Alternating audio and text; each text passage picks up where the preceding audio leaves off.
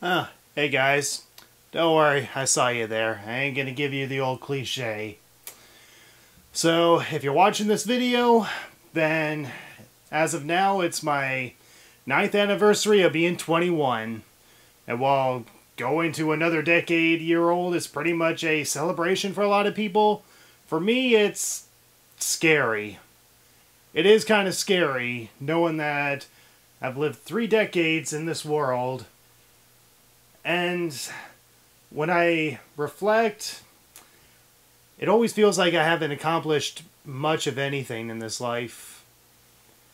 But then when I really do dig back, I suddenly realize just how much I have changed over time. How much NitsuaGamer has changed. How much I have changed, not just as a person, but in general. Well, some of you probably might know my past, some of you may not know my past, and obviously I'm not going to go into everything that happened within uh, this video, but I'll I'll give you guys a brief history of the Gamer. How I started off, where I am, how I got here, and I could definitely say it's definitely personal. It's definitely personal being able to reveal all this information for you, but then again, this information you're bound to find out if you just dig deep enough into my channel, or even on my other channel. Yes, I do have another YouTube channel as well. So, without further ado, here's the brief history of the Gamer for my 9th anniversary of being 21.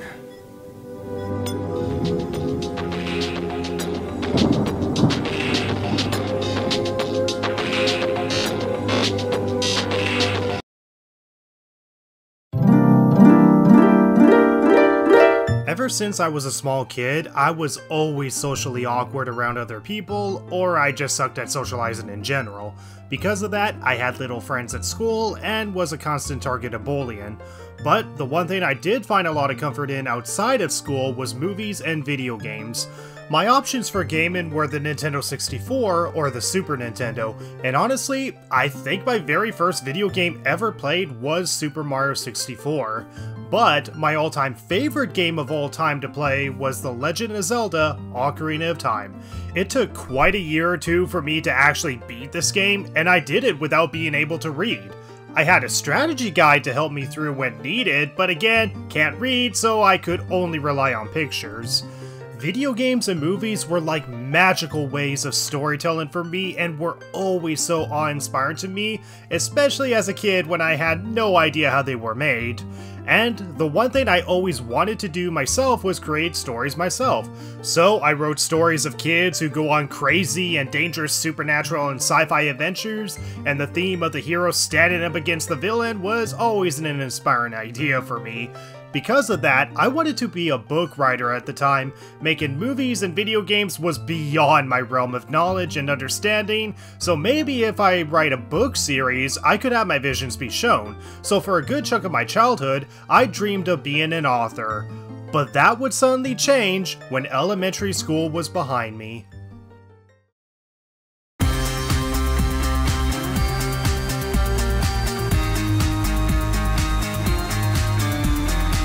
In late 2008, I was in my biology grade 8 class where we had to do a science project called Cell Wars. Pretty much a science project talking about the different types of infections and how the human body fights them off with white blood cells or the aid of antibiotics. I had a Mac laptop where I discovered I could film webcam clips through an app called iMovie, a very simplified editing tool with not that many options, but it worked for what I had in mind. Me and my science partner would act out the roles of the affections and defense systems, and let's just say, it's a cringy as hell project. I am the skin of the body. I protect the body from many diseases from getting into the body. Now, oh no, here comes a virus right now. State your name, you virus. I am Darth Virus. So, Darth Virus, what do you want? I want to get through this door to the body. I'm sorry, but my job is to not let anyone like you get into the body. You can't even fool me. Hey look, a two dollar bill. Okay, skin is not attracted to money. Okay? And second of all, if you're looking for a way in, well, you're not. So get lost, you creep. Fine. Geez, what does that guy think he is? I wonder what his next plan's gonna be. Hi. I am food and not a virus. Really? You're you're not a virus? That's right, you're a virus! Get lost! No, I feel bad.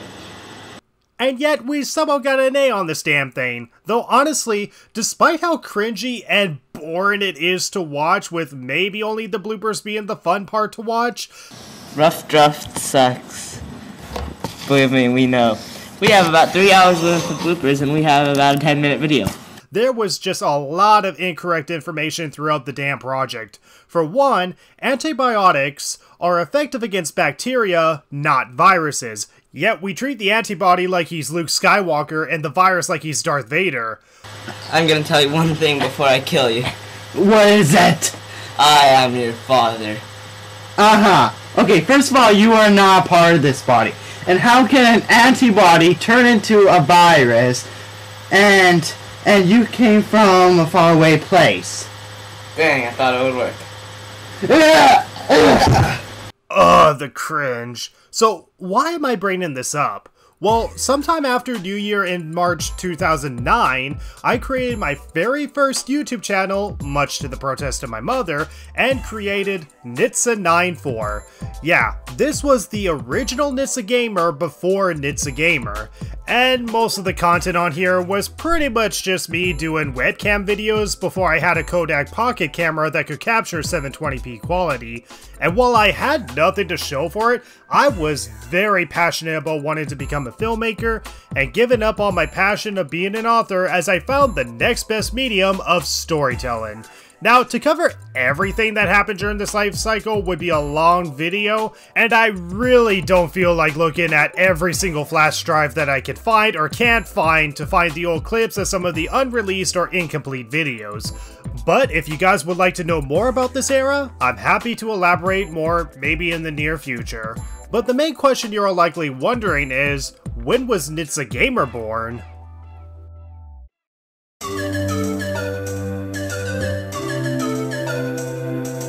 NitsuaGamer was created in March 30th, 2010.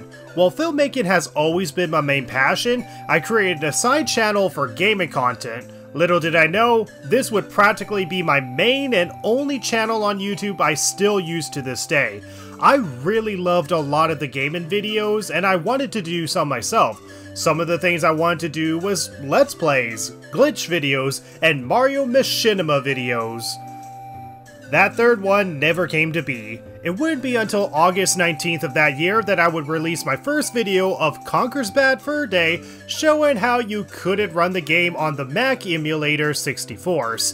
Bear in mind, I used to be a Mac user back in the day, and it wouldn't be until March 27th of 2011, a year after the channel was created, that I took NitsuaGamer seriously and did my first Let's Play that I believed was my very first video game ever played, Super Mario 64. All of these videos still exist to this day if you really dig back and watch my old content. And so, NitsuaGamer finally started doing gaming for YouTube.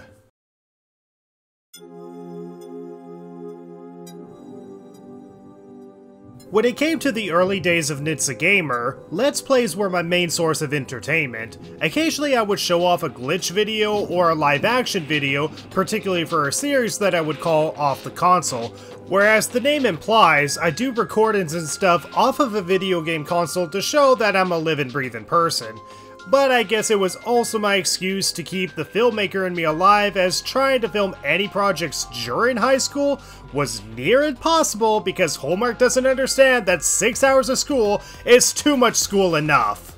But Let's Plays were very easy to make and required little effort. What Let's Plays have I done, you ask? Well, here's all the Let's Plays that I have done in my entire life.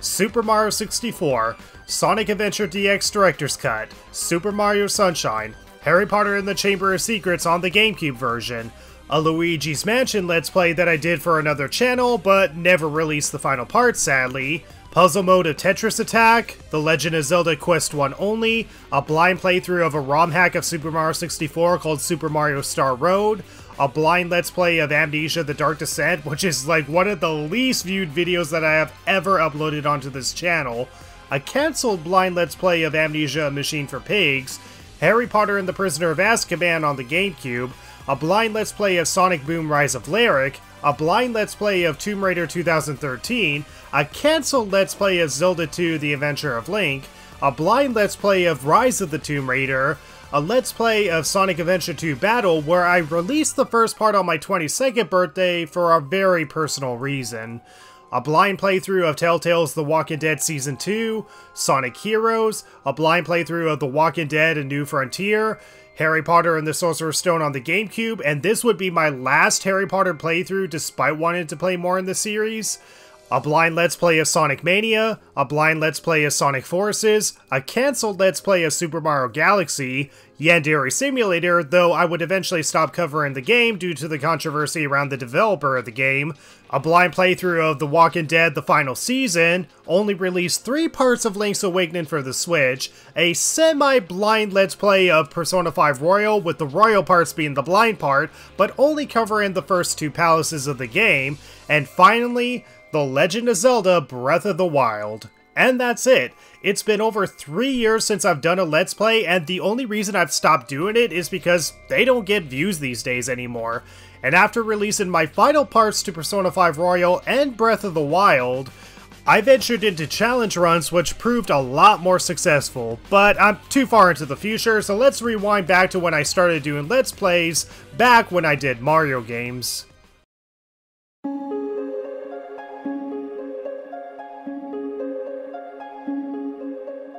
Just two days before my birthday in 2012, I gained over 100 subscribers for the first time, and while I did have a bit of people watching my content since I started doing Let's Plays, what got me more recognition was a stream I joined in with an old friend named Super Nintendo Mike and Tony who would later become Them Cool Dudes.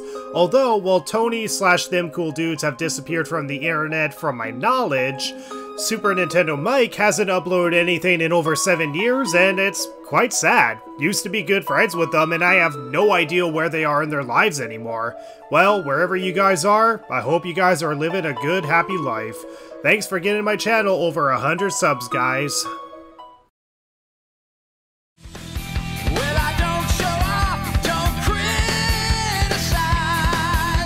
One of the projects I was trying to make during high school was a Sonic fan film.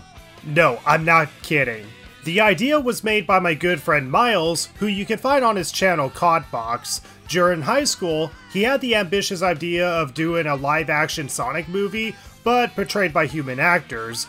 I was going to be a part of this project and put a lot of thought into it, and I mean a lot that I bragged about it in numerous videos, including my previously mentioned Off the Console series. It would have been Sonic and his friends going after a Chaos Jewel, which ties into our big plot, and you have Dr. Eggman and his four teenage henchmen who would try to overthrow Sonic, and it was such a big ambitious idea. So ambitious that only a few scenes were made, actors lost interest and left the project, and so Miles and I unfortunately agreed to cancel it, which sucks, but it's understandable for various reasons. I might make a video talking more about this project, how it was going to be one big movie, and how there was going to be a more adult prequel movie called Henchman Origins, which, let's just say, had really, really dark ideas that only my edgy teenage mind could think of. I mean, maybe I might take some of those ideas that I've had for Henchman Origins and maybe put it into another project, but hey, as I said, filmmaking is my passion. And I kept that passion with me even when everything around me stopped me from pursuing my dreams. It's sad that the Sonic movie never came to be, but it is what it is. Be sure to check out my good friend Miles, by the way. He covers mostly Nintendo videos, and he could definitely have a bigger subscriber count. Okay, three, two, one, action. Ah! Ow. Ow, my back. Ow, ow.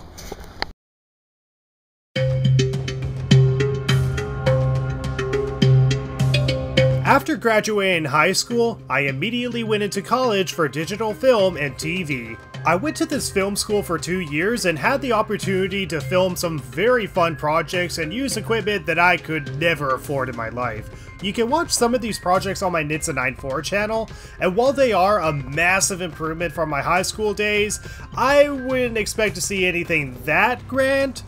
Despite my intention of wanting to be a film director, I barely had the opportunity to direct any of the films I worked on, but the ones that I did direct, I can definitely say I'm the most proud of.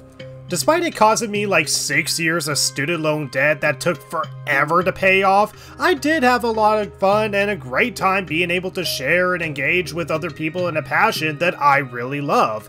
I would absolutely love to direct films and TV shows.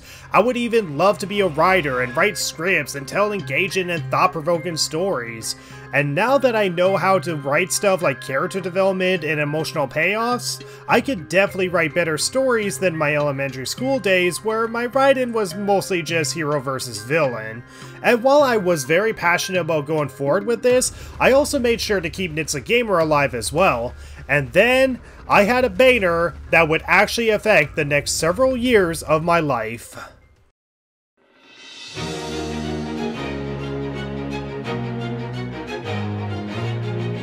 Since I was going to this college for film and TV, I was able to access better editing software like Adobe Premiere Pro, and it took six months to develop a massive project for YouTube. One that would change my life in more ways than I thought it would. On November 16, 2014, I released a video called Top 7 Actual Good Things in Sonic 06. Now, it may not seem like it, but this video was a huge deal. For most of my YouTube career, I have always been under a thousand subscribers, so I thought of a crazy idea. What if I did something that nobody else has ever done before and talked about the good things of what is considered the worst Sonic game ever made? Obviously, this was before Rise of Lyric came out. It was practically a religion in the Sonic fandom to hate this game, and saying anything positive about it would be blasphemy. But what this resulted in was not just a lot of views, but becoming my most viewed video on the channel, and it pushed me to over a thousand subscribers, and it was about frickin' time. This video was also great because some Sonic fans personally thanked me for making it because it was about time that somebody talked about actual good things in a Sonic game that they actually really like. I mean, just because a game is considered bad by most does not mean that there aren't fans for it, and even a bad game can have good moments in it, and Sonic 06 is no exception. And honestly, it was refreshing to hear that I could bring light to what people like. Opinions are valid, and liking a game that most people hate is a totally okay feeling to have. This also made me more involved with the Sonic community, and while I've had a great deal of fandom drama, I've also made some really great friends and even had my first relationship thanks to the series. And since then, I've made more Sonic Let's Plays, a review on only the first half of the Sonic Boom TV series, and a series of videos called Sonic Boom Vlogs, more top 7 Sonic videos include Sonic Boom Rise of Lyric and Sonic Mania, and a really, really dated review on Sonic Forces, which was not successful. And I'm kinda glad it wasn't because my opinion on the game has soured over time. I was even gonna do a top 7 or a review video on Shadow the Hedgehog and have put lots of attempts into making it work, but either had to rewrite it or change it or stopped out of burnout. But I seriously do want to make a video on Shadow the Hedgehog because honestly, I think it's an underappreciated game that gets way too much hate. Comment below if you would like to see that. While Sonic has become the most popular thing on my channel, for the next 6 years however, things barely changed before the world itself got worse.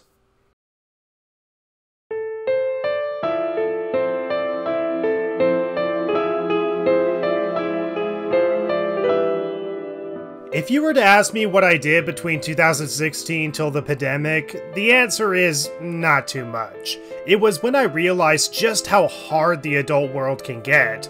2016 was without a doubt my most depressing year.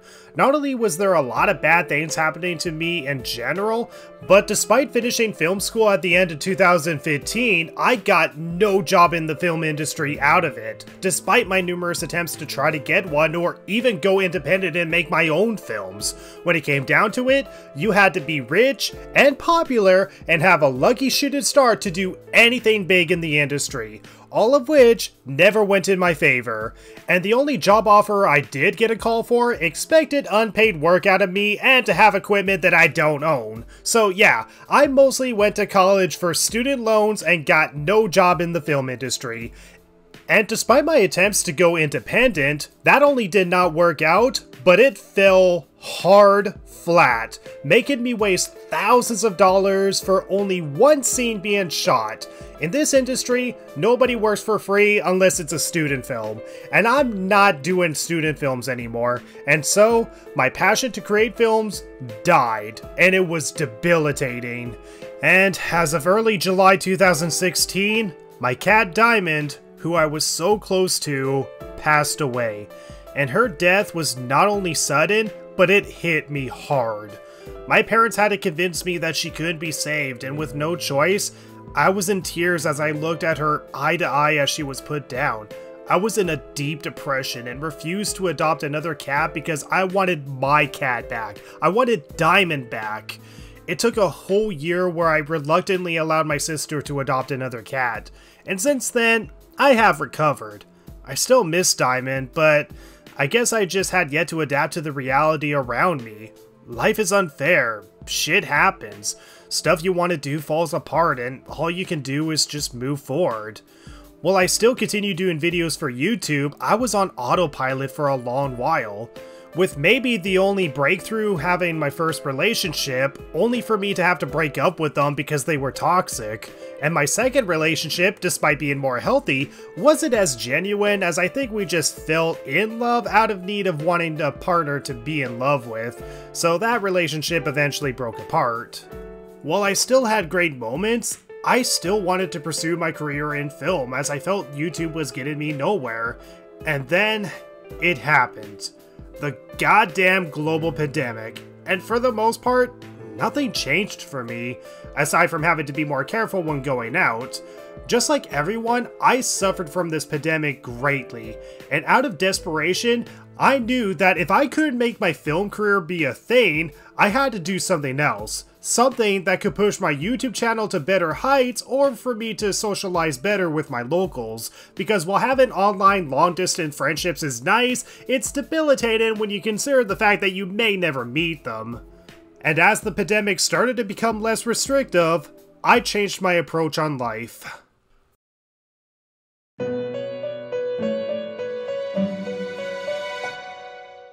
On December 28, 2017, I started playing my very first Persona game ever, Persona 5 Vanilla, and this became one of my favorite games of all time as I felt the themes of rebellion and fighting to make your own independent choices against the expectations of society were themes that really hit hard for me, I mean, okay, I haven't been given a criminal record by a politician yet, but it became a story that I grew to love. So naturally, when Persona 5 Royal was on the horizon, I wanted to jump on board and make YouTube videos on this game that I loved. And so, on top of making a video where I gave tips and who I believe are the best confidants based on their perks, I also did my very first challenge run. Challenge runs are very inspired to me, and I've watched a lot of them, with maybe my biggest inspiration for challenge runs being from Game Champ 3000. Not only did I want to have a similar sense of humor like she has, but I also wanted to cover challenging ideas that people could sit back and enjoy, seeing that Let's Plays are a dead genre and reviews don't get popular unless you're popular with the series that you're reviewing.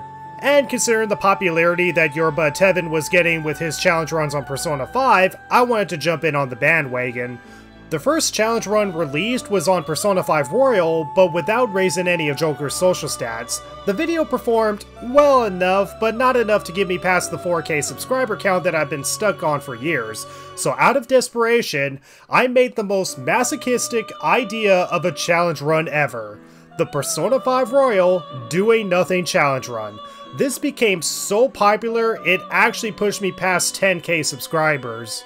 A feat that made me want to do this stupid idea in the first place. No, I didn't do the do it nothing run because I'm a masochist. I did it out of desperation to gain more views and subscribers, so it feels like my years on YouTube were not wasted.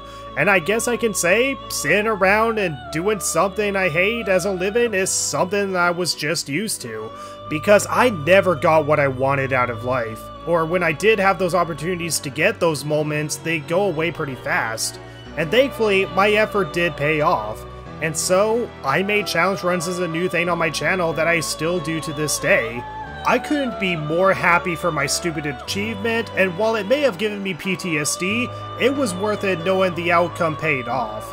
And now, NitsuaGamer was no longer just a hobby, it became something that I had a reason to be passionate about and keep alive. But even if I found a footing, I am still in need of a lot of improvements.